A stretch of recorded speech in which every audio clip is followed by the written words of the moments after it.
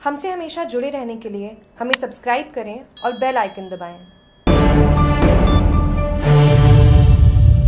Corona खत्म नहीं हुआ है, बचाव के लिए आपकी सावधानी व सहयोग ज़रूरी है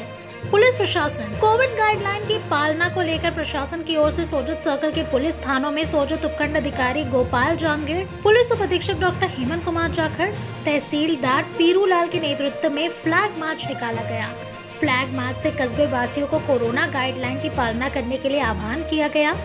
आमजन को मास्क लगाने व सोशल डिस्टेंसिंग की पालना करने की अपील की गई। वहीं सीएलजी सदस्यों व पुलिस मित्रों की बैठक लेकर आमजन को कोविड गाइडलाइंस की पालना करवाने व सोशल डिस्टेंसिंग की पालना करवाने में, सहयोग करवाने की बात कही। जागरूक टीवी के संवाददाता से बात करते हुए सोजत डीवाईएसपी डॉक्टर हेमंत कुमार जाखड़, इन्होंने ये कहा। वही निर्देश दे दिया था कि कोरोना की जो तीसरी वेव को देखते हुए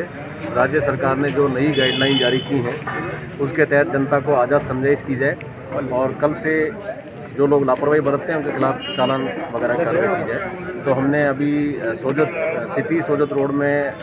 फ्लैग मार्च कर दिया है। अभी बगड़ी जाएँगे, उसके बाद सिरियारी और मारवाड़ जंक्शन होते हुए जार्डन तक छऊ थाना क्षेत्र में जो भी बड़े कस्बे हैं, उन सब में फ्लैग मार्च करेंगे। जागरूक टीवी की सोजत से बाबूलाल पवार की रिपोर्ट।